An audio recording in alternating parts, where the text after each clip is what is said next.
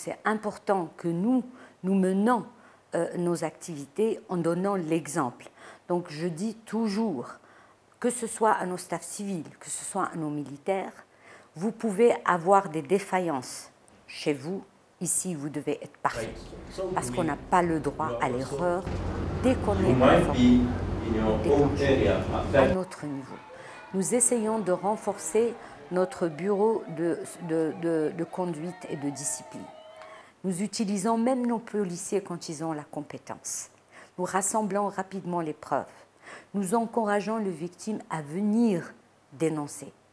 Nous respectons leur intimité et leur euh, euh, identité et leur si elles ne veulent pas être identifiées.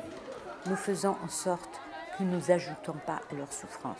On ne prétend pas qu'on a réglé les problèmes, on est au début d'un parcours, mais on y travaille et on est sérieux.